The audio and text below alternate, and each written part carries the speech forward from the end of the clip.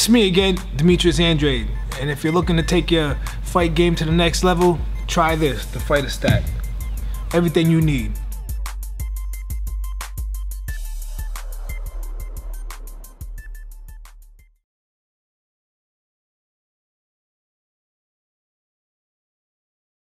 Excited to be on the stage. Man, super excited. I can't wait. Uh, Saturday night, can't get here too soon.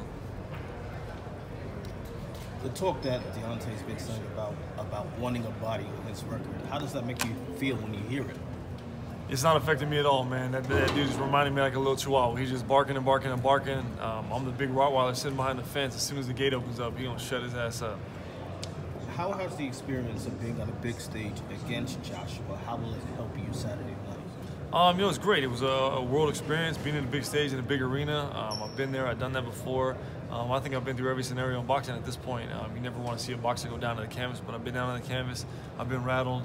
I've been able to get off the canvas and finish a fight, knock a guy out. So, um, got a lot of experience under my belt, man, and uh, I'm waiting to, to show it off on Saturday night. How do you keep from being overly emotional since there's a lot of bad blood in this fight versus no past opponents? You guys know me best, man. I'm calm, cool, and collected, man. I, I got no uh, got no reason to be mad, man. I've, I've, been blessed enough to be in this opportunity to fight for a world title for the second time now, and uh, you know I can't go into a fight mentally under distress and stressed out and worried about this and worried about that. If I'm worried about what Deontay Wilder is going to be doing, I, I can't stick, stick mentally focused on what I'm going to be doing. Did you get extra motivation with the fact that he's kind of dismissive, like he like he don't take you seriously? Yeah, without a doubt. I mean that, that helped me motivate through camp. Uh, helped me get up, get up in the morning, eat the right food, and run the extra miles and do the extra rounds of sparring. Um, it was definitely motivating through camp. Um, at this point, I'm you know, physically in shape, mentally focused, and ready to fight Saturday night. Are you prepared to go to deep waters like like Fury? You have to get up and, and do some craziness. To oh yeah, without without a doubt, that's the easy part of boxing, man. That, that, that stuff's already in there. It's, it's, deep down in my soul. It's deep down in my heart, man. I've been there and done that before. Um, to be able to get off the canvas and do some things like that, it's gonna be great. But I don't plan on going that far. Man. My, my wife loves number three, and I told him to get a third round knockout. His last couple fights, he's had obviously very very tough tests. Uh, maybe almost people thought he might have lost the last one. Do, do you see any weakness or slippage or anything like that? People that? thought he must have lost. You guys know damn well he lost that last fight, man. He did not beat Fury. Um, you know, there, there, hasn't been any development on, on, Wilder's situation in the last four years. He, probably in his whole professional career, he looks the same as he did as an amateur. And, and you know, even then he didn't look great. And uh, to, to, to, think that he's been the champ for, you know, the WC champ for what four years now, um, that's a disgrace to heavyweight division.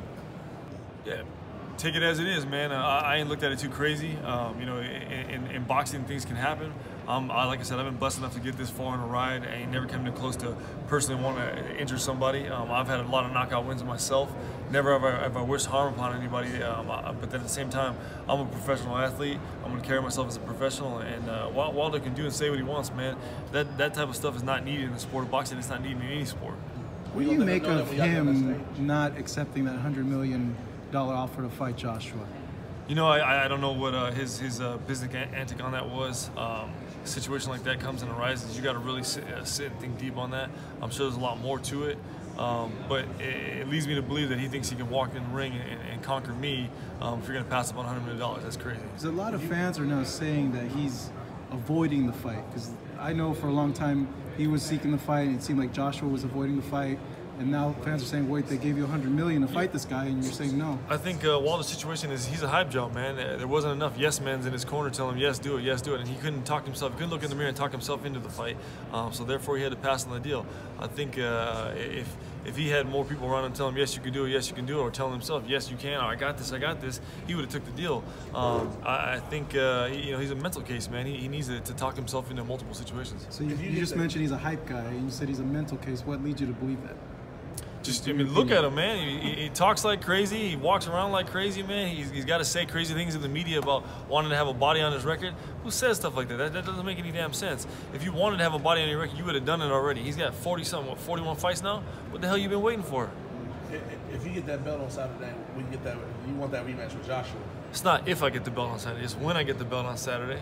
I definitely love to get the vengeance match with Joshua. Um, I, I, understand that's my ticket back to success with Joshua. I had the world title shot with him one time in 2016, um, and I think uh, for him to come and, and realize, yo, Dominic's got the belt now. I want a, a undisputed heavyweight championship about to go on. Um, he'll definitely he'll definitely take me on for sure. I would imagine then you think that the Joshua fight. Uh, tactically is a more difficult fight than this one uh, in this present day? Night and day. Yeah nine day. I'm a completely different fighter now um, than I was against the Joshua fight, so I can't wait to see that match go on again. Um, but tactically, that day uh, Joshua was better. He was mentally focused. He was physically fit. Um, he, he executed his game plan, whereas I didn't execute my game plan. I definitely wasn't mentally focused because I was trying to adjust and readjust and, and do so forth. Last question, guys. When he says that he wants to kill you and take you out, is there any more added like motivation on your part? No, not at all, man. Uh, that for me, uh, I- I'm way, way too mentally in tune to be to be focused on what somebody can say, what somebody does. Um, uh, when I go into a boxing match, I'm not worried about what my opponent can do or what he's about to say to me. I'm worried about what I can do and how I'm going to execute it.